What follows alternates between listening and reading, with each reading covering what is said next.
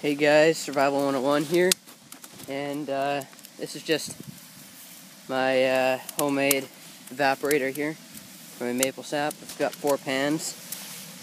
Um, first one is basically just a warming pan.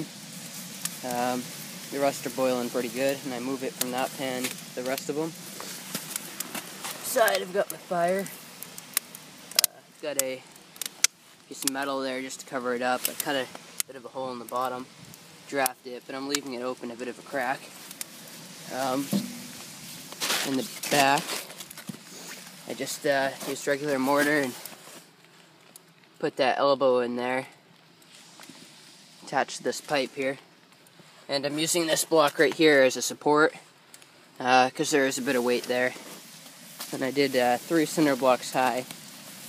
Here, I didn't stagger them because it worked out better if I didn't.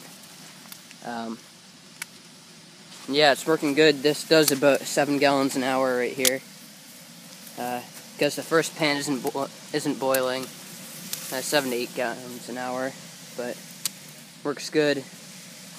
Uh, it's drafting really well. It's pretty fuel efficient. I haven't burned through too much wood yet, so um, I'll have more videos like this coming about maple syrup.